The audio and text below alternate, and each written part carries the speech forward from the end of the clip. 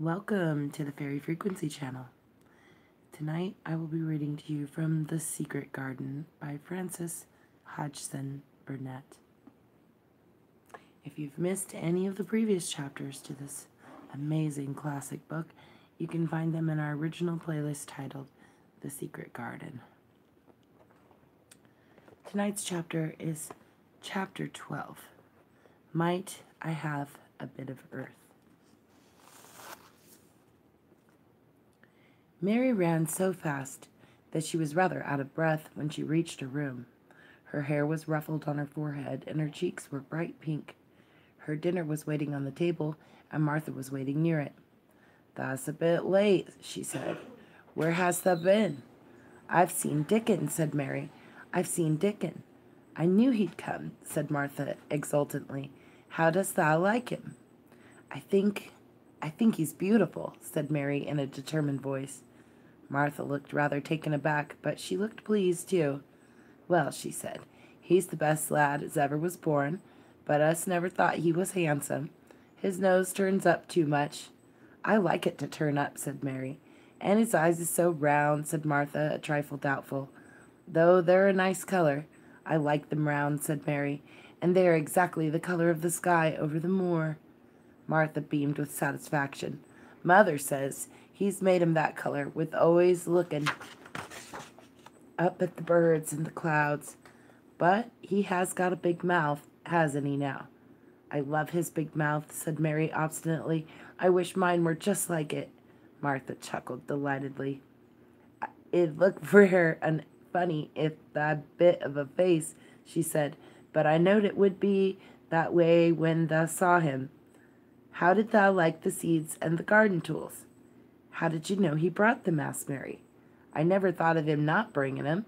He'd be sure to bring 'em if they was in Yorkshire. He's such a trusty lad.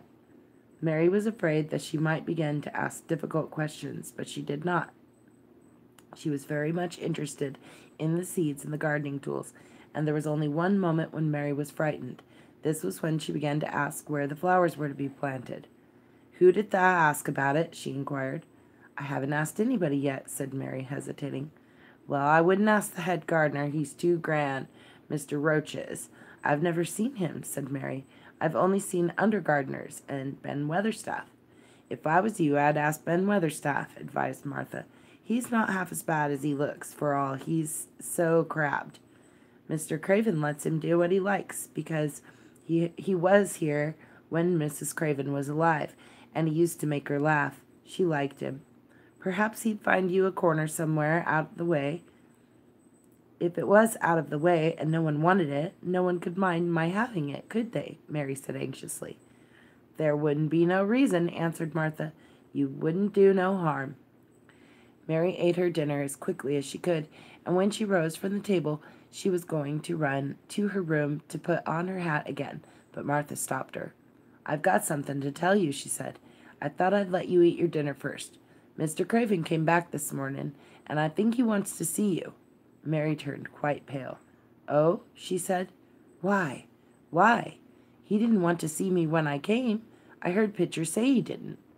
Well, explained Martha, Mrs. Medlock says it's because of mother. She was walking to Thwaite village, and she met him. She'd never spoke to him before, but Mrs. Craven had been to our cottage two or three times. He'd forgot, but mother hadn't, and she made bold to stop him. I don't know what she said to him about you, but she said something, and put him in the mind to see you before he goes away again, tomorrow. Oh, cried Mary, is he going away tomorrow? I am so glad. He's going for a long time. He mayn't come back till autumn or winter. He's going to travel in foreign places. He's always doing it. Oh, I'm so glad, so glad, said Mary thankfully.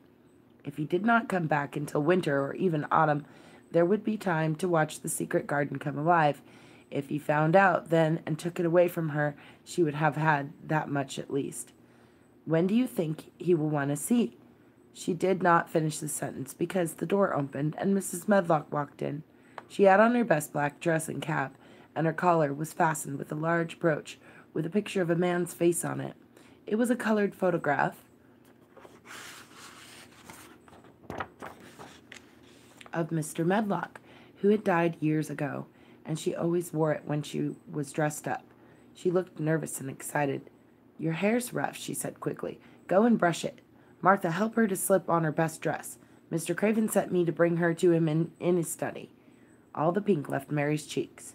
Her heart began to thump, and she felt herself changing into stiff, plain, silent child again. She did not even answer Mrs. Medlock, but turned and walked into her bedroom, followed by Martha. She said nothing while her dress was changed and her hair brushed, and after she was quite tidy, she followed Mrs. Medlock down the corridors in silence.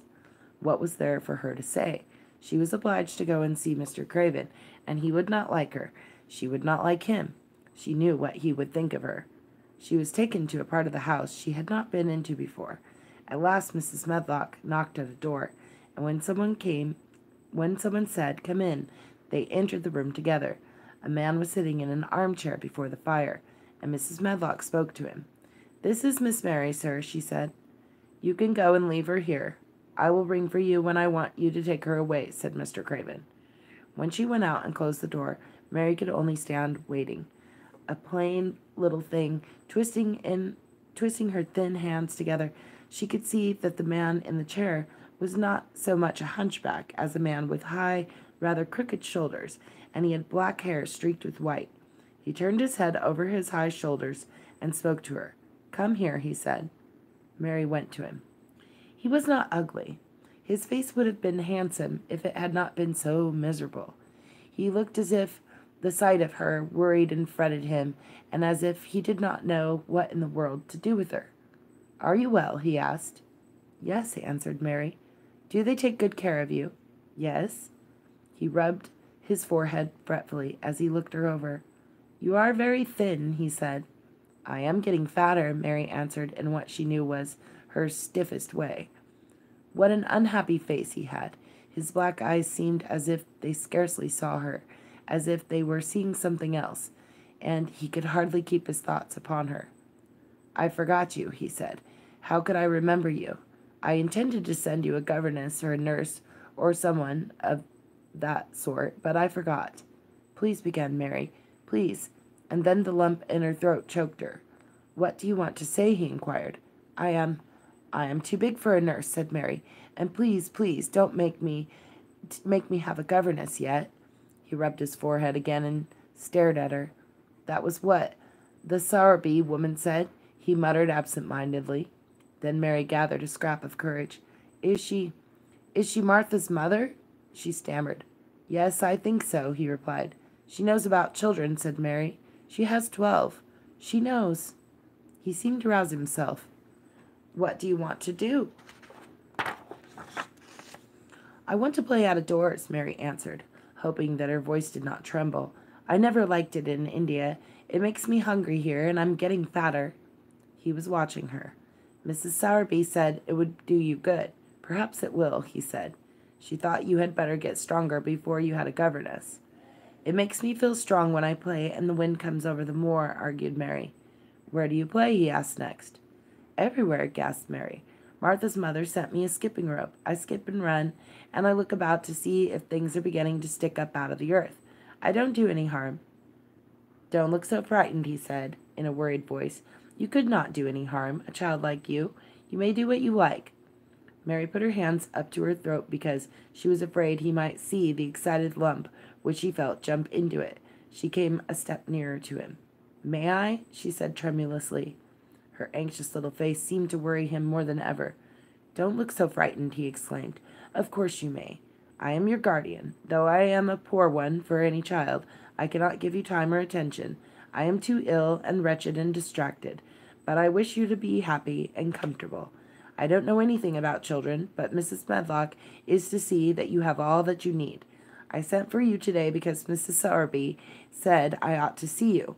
Her daughter had talked about you. She thought you needed fresh air and freedom and running about. She knows all about children, Mary said, again in spite of herself. She ought to, said Mr. Craven. I thought her rather bold to stop me on the moor, but she said Mrs. Craven had been kind to her. It seemed hard for him to speak his dead wife's name. She is a respectable woman. Now I have seen you, I think she said sensible things. Play out of doors as much as you like. It's a big place, and you may go where you like and amuse yourself as you like. Is there anything that you want? As if a sudden thought had struck him. Do you want toys, books, dolls? Might I, quavered Mary, might I have a bit of earth? In her eagerness, she did not realize how queer the word the words would sound, and that they were not the ones that she had meant to say. Mr. Craven looked quite startled. Earth, he repeated. What do you mean? To plant seeds in, to make things grow, to see that they come alive, Mary faltered. He gazed at her a moment and then passed his hand quickly over his eyes. Do you care about the gardens so much? he said slowly. I didn't know about them in India, said Mary. I was always ill and tired, and it was too hot. I sometimes made little beds in the sand and stuck flowers in them, but here it is different. Mr. Craven got up and began to walk slowly across the room. A bit of earth, he said to himself, and Mary thought that somehow she must have reminded him of something. When he stopped and spoke to her, his dark eyes looked almost soft and kind. You can have as much earth as you want, he said. You remind me of someone else who loved the earth and things that grow. When you see a bit of earth that you want, with something like a smile, take it, child, and make it come alive.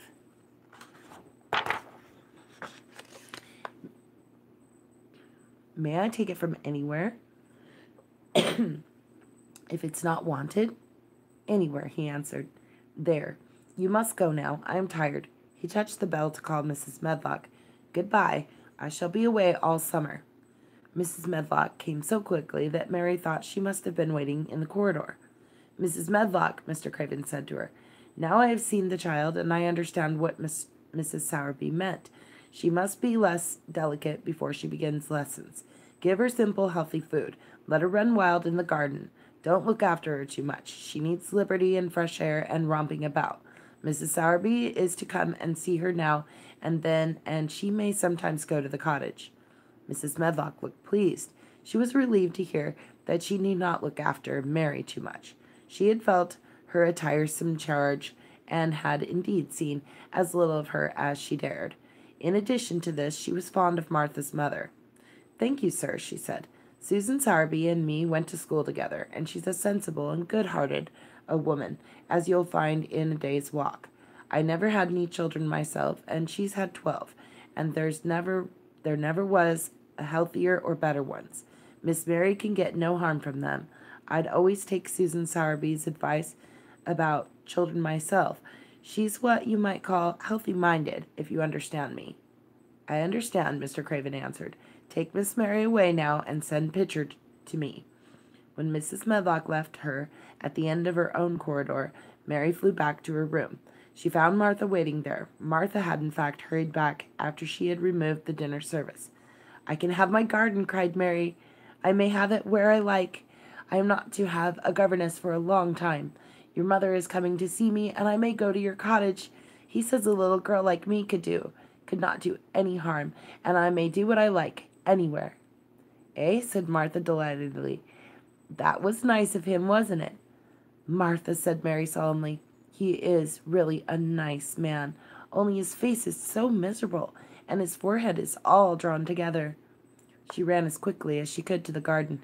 She had been away so much longer than she had thought she should have she should than she thought she should, and she knew Dickon would have to set out early on his five mile walk. When she slipped through the door under the ivy, she saw he was not working where she had left him. The gardening tools were laid together under a tree. She ran to them, looking all around the place, but there was no Dickon to be seen. He had gone away, and the secret garden was empty, except for the robin who had just flown across the wall and sat on the standard rosebush, watching her. He's gone, she said woefully. Oh, was he? Was he? Was he only a wood fairy? Something white fastened to a standard rosebush caught her eye. It was a piece of paper. In fact, it was a piece of the letter that she had painted for Martha to send to Dickon. It was fastened on a bush with a long thorn, and in a minute she knew Dickon had left it there. There was some roughly printed letters on it, and a sort of picture. At first she could not tell what it was, and then she saw it was meant for a nest, with a bird sitting on it. Underneath were the printed letters, and they said, I will come back.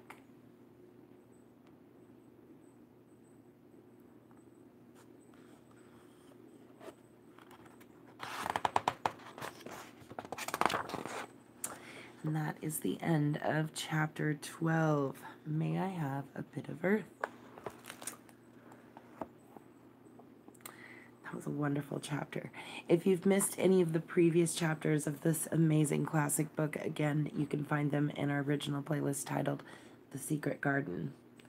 So, thank you everyone for joining us this evening. Wishing you all a wonderful evening tonight. Sweet dreams, everyone.